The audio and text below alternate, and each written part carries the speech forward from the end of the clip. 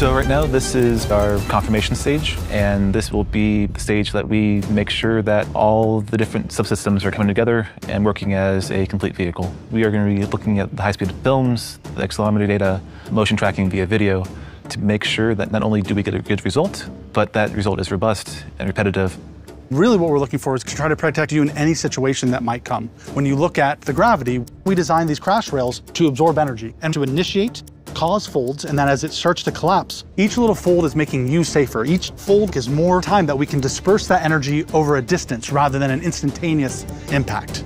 So the theory is absorb energy, be stable with the backup structure, and redirecting all the loads around the customer space and try to go down our main longitudinal body structures. There are crash cases where we don't hit those rails.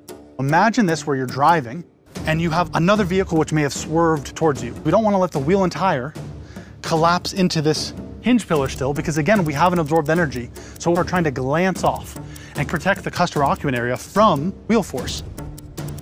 This might not seem like much, but this has been years of obsession from Lucid engineers. It did exactly what we wanted. These were designed so that in durability and in impacts, they don't separate. But under a crash event, that little bit of push at the front of the vehicle allows us to move away and slide over and we eject the wheel to the side so that you can glance off in these moments and be as safe as you possibly can be. And that's what we've achieved with this small overlap rigid barrier test.